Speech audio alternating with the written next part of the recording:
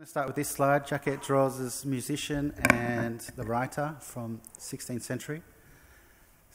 And this particular work was influential in my research into robotic art, and although it wasn't considered the first example of robots in art, it had a strong impact on my research, which uh, this is the first incarnation of that. So, this is an old piece from 2009 called The Hosts A Masquerade of Improvising Automatons. So, as you can see, the dresses were influenced by this 16th century automata. They're very ornate, they draw people in, and people want to get close to the robots and touch them. Each one, it's a masquerade ball for robots. Each one has a character, so I've designed characters for them. There's princess, clown, military, and cowboy or rodeo in this shot. This was uh, at the Media, Mediations Biennale in Poland, and it got to exhibit the work in a very apt setting, which was a castle. A castle. And it had parquetry floors and beautiful ornate um, circular room. So in this work, the robots spin around. There's computers inside, and they're all connected via a Wi Fi network, and there's ultrasonic rangefinders at the base to allow them to do the other behavior. So, the first behavior is that they spin around, and you get this beautiful kind of wind of the dress, and the dress touches you.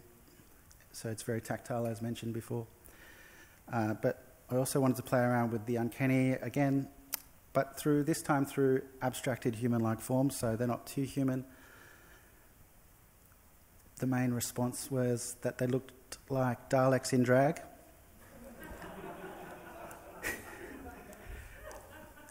but the main insight that I had was that people thought that they were responding to them individually. But the main behavior was avoid and wander.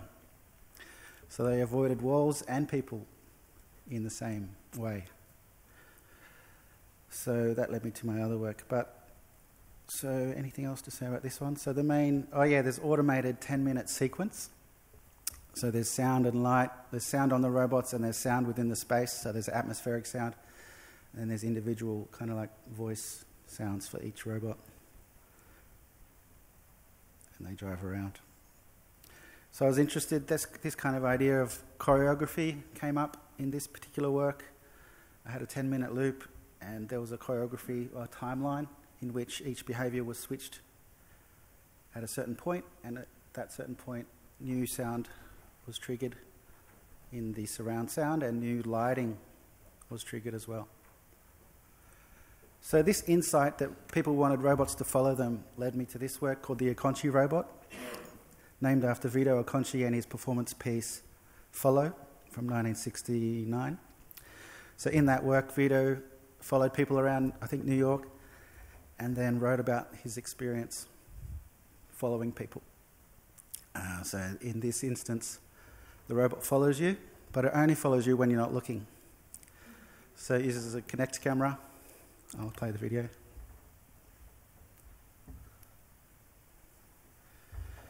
Please excuse my bold text fonts. Um, so this is in China. It's following the gallerists workers who work at the gallery during closed hours. Um, so in this work, it uses a Kinect camera to turn the human into a blob, and then the distance sensors detect how far away it is, and then it follows them.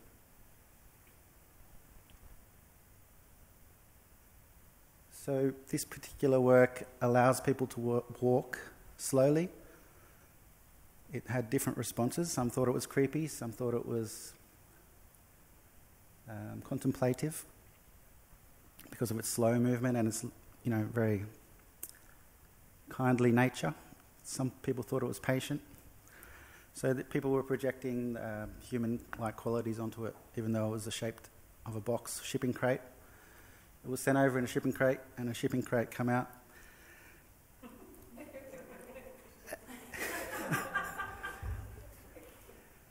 Um, yeah, the funny thing about this work was that in China, in Beijing, thousands of people go to this gallery a day. they called me up. They said, The work's broken. I said, Look at it, turn around, and walk away. So they, they did that, and it started walking. but because thousands of people go and look at it, it they thought it wasn't working because it didn't move. So that was the. This is a gallery is a great testing ground for new types of interactive experiences. Any questions or comments so far? Good. Oh, okay. So, from my insights in the first work, the hosts, I thought I could stretch it out into a 35 minute. And this time I was going to use all my camp sensibilities of the first work and challenge opera. This is called Robot Opera. The idea is to create a fully autonomous robotic opera that people can come and pay they actually did pay to come and see this work. Uh, so in this time, I used the mechanical format or the machine aesthetic, as I like to call it. So you can see all the electronics. You can see it's metal. It's got lights, and so on. Uh, again, there's Kinect cameras and lidar sensors and computers, amplifiers, speakers, surround sound, and surround lighting system the issue I had with this work was, well, let me run through it first. So we developed a dramatic arc. I work with a dramaturge and a lighting designer and a sound designer, a project manager, etc. So in the first part, the audience are up the back and the robots are at the front and they turn around slowly. It's called the reveal. And then the lights slowly come on and they, they do this, this um, sequence called the sequencer. So each robot has a sound and a light. I'll show you a video in a moment. But in this image right now, they're slowly moving at their slowest speed, and the sound builds up and the lights build up. So it sets this kind of anxiety. And this is a Sydney based audience, very conservative. Hmm. and later on in Taiwan, you'll see how they interacted. Uh, so there's different moments within the 30 minute performance where the robots are interacting with people. Again, they're following people. The, the lights change when they detect humans. And it says in a human, uh, in a robot voice, human detected. And then another part of the sequence, all the robots come into a configuration again, and then they spin around on the spot, uh, indicating they're out of control. So playing around with those preconceived notions that robots are going to take over. Here they're spinning around. And at the end, there's one sole robot that drives around, and the red light comes on. I'll just play a little bit.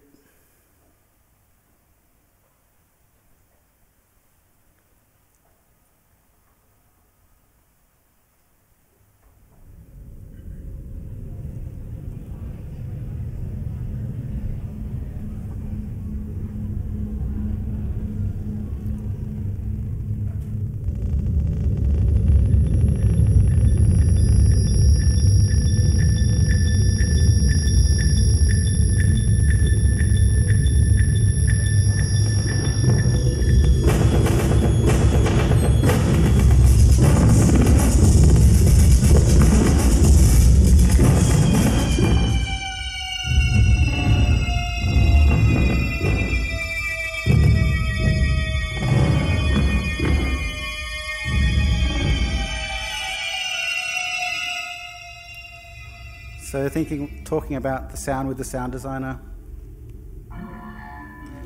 We're thinking about 2001 representations of robots in popular culture. So the sine tone and the theremin, I guess, is a good reference. This is a live view of what the Kinect camera sees, representing the robot's vision. So the people can see themselves on the other on the back side of the robot. This is an example of the flashing light when a human is detected. So it's kind of like a police state in a way. This is kind of an intimate um, female voice section with everything goes red. So I wanted it to be dangerous and kind of get people out of their comfort zone, exploring the breaking down the fourth wall, exploring some of the concepts of La Fura dels Baus, perhaps, but not that extreme, unfortunately. Uh, this is the, when they're going back into formation, and this is a noise section. All the lights go off.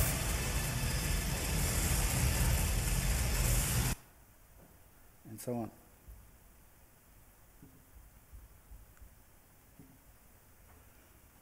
This is uh, presenting the work in Taiwan in a smaller space. And people are much more engaged in Taiwan with technology.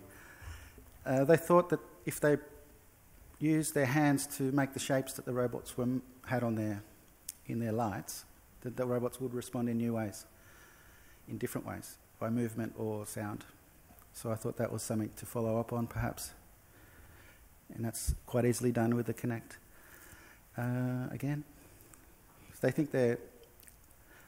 In this work, it was semi autonomous, so in some stages it's autonomous, and in other stages we're actually controlling them. So we get a bit. Um, you want to run people over sometimes, so you push it a bit further. So here you can see they're doing the symbol again to get some sort of feedback. Uh, this is a new work from 2017 called Synthesizer Robot. I'm interested, as you interested in this notion that the robot is playing music for itself. So it's a synthesis. Synthesis. It's a robot. Yeah. The robot is um, automated to play a th- synthesis engine. Um, so this idea is that kind of builds on Gil Weinberg's idea about robotic musicianship and robotic musical gesture. But in my version, I want it to be four robots in a band. So you might go and watch a concert of four robots perform, perhaps with audio visuals or just with music.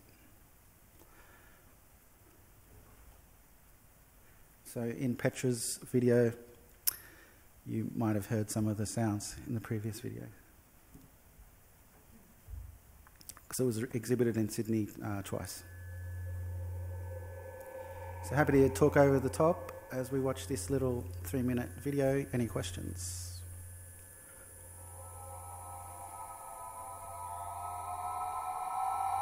Would you pay money to go and see this robot?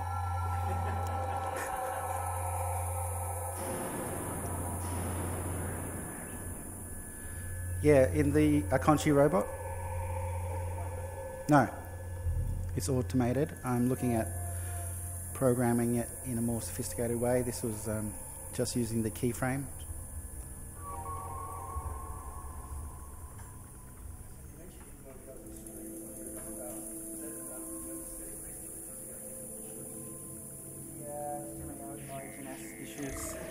These days, um, it's not impossible.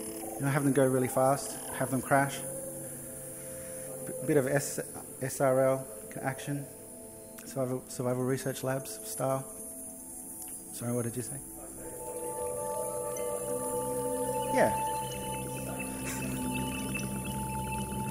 That's right.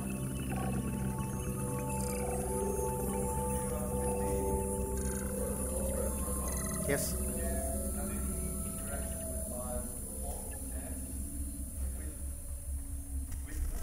No, I haven't. I'm more about no humans.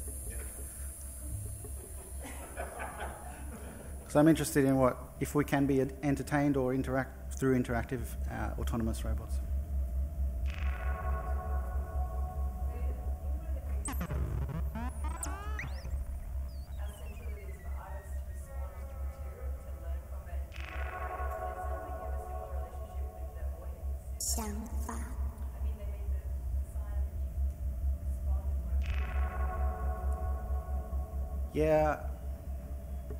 Like I've explored various materials, and that kind of influences the behaviors of the robots. But then the feedback from the audience response gets fed into the new work and helps the insights or direction that I might take. So I've tried different materials. I'm not sure which one's the best, but I probably, you know, for this conference, I wanted to show the soft robots.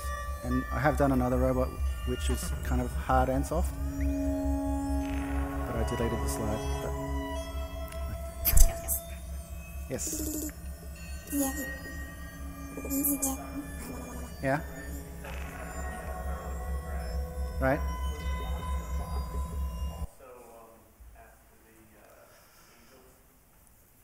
No.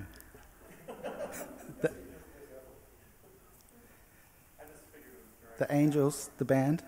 No, no, no, in Doctor Who, Right. angels that when you go look at them, they Okay. toward you, but then when you turn back, they turn back to the No, I kind of wanted like 60s street performance, uh, everyday materials for that particular work. Right on time. Thank you.